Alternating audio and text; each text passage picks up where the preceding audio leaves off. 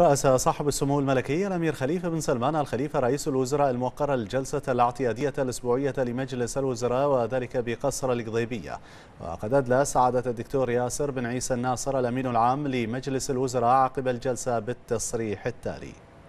في مستهل الجلسة رحب صاحب السمو الملكي رئيس الوزراء باختيار المحرق عاصمة للثقافة الإسلامية للعام 2018 من قبل المنظمة الإسلامية للتربية والعلوم والثقافة. ونوه سموه بالرعاية الملكية السامية لحضرة صاحب الجلالة الملك حمد بن عيسى آل خليفة عاهل البلاد المفدى للاحتفال الذي يقيم بهذه المناسبة.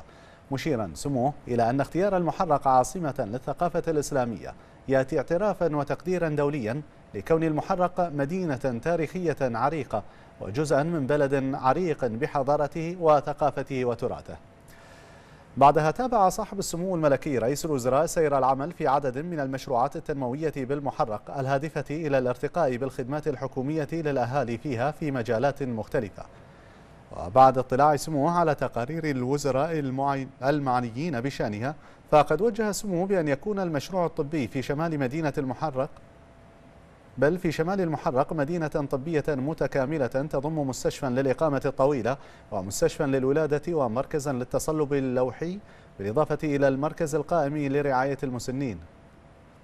وكلف سموه الجهات المعنية بسرعة الشروع في ذلك حال الانتهاء من إرساء مناقصات البناء الحالية وإحاطة سموه بشكل دوري بالمواقف التنفيذية للمشروع. كما كلف صاحب السمو الملكي رئيس الوزراء معالي نائب رئيس مجلس الوزراء رئيس اللجنة الوزارية للأعمار والبنية التحتية بمتابعة تنفيذ مشروع سعادة. مشروع سعادة فيما أخذ سموه علما بالمراحل التي وصل إليها السوق المركزي بالمحرق ومشروع تطوير سوق المحرق القديم. وفي الشأن الإقليمي والدولي فقد تابع مجلس الوزراء مجريات الأحداث في عدن وفي هذا الصدد فقد أكد المجلس على موقف مملكة البحرين الثابت في دعم ومساندة التحالف العربي بقيادة المملكة العربية السعودية. بعدها عبر مجلس الوزراء عن إدانته واستنكاره الشديدين للتفجير الإرهابي الذي وقع في كابول وراح ضحيته عشرات القتلى والجرحى معربا عن تعازيه لذوي الضحايا ولحكومة وشعب أفغانستان ومتمنيا الشفاء للجرحى مجددا المجلس موقف البحرين الرافض للعنف والإرهاب بجميع أشكاله ومبرراته وضرورة تكاتف المجتمع الدولي في مكافحته ومجابهته. إلى ذلك فقد وجه صاحب السمو الملكي رئيس الوزراء إلى التوسع في دائرة الخدمات التي تدعم فنيا ولوجستيا مراكز التسوق والسياحة في البلاد وتجعلها أكثر جاذبية للمواطنين والزوار من خلال ما يتوفر فيها من خدمات محفزة ومشجعة كالإنترنت المجاني والسريع وغيرها من الخدمات الأخرى وبخاصة في الأسواق التاريخية كسوق المنامة وسوق المحرق وغيرهما وكلف سموه وزارة المواصلات والاتصالات بذلك.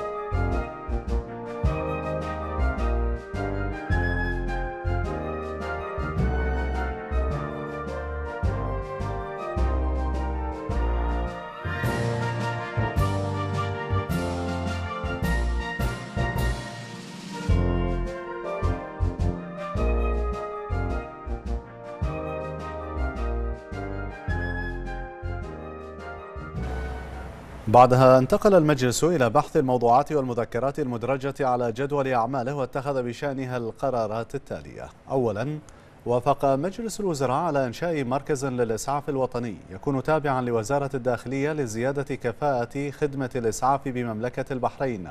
وأقر المجلس مشروع مرسوم يحدد إنشاء المركز المذكور وتبعيته وأهدافه والمهام والصلاحيات التي يباشرها وهيكلة التنظيمي وهيكله التنظيمي والاعتماد المالي له. ثانيا وافق المجلس على التوقيع النهائي على اتفاقية الخدمات الجوية بين حكومة مملكة البحرين وحكومة جمهورية البرازيل الاتحادية وتفويض الوزير المختص بذلك.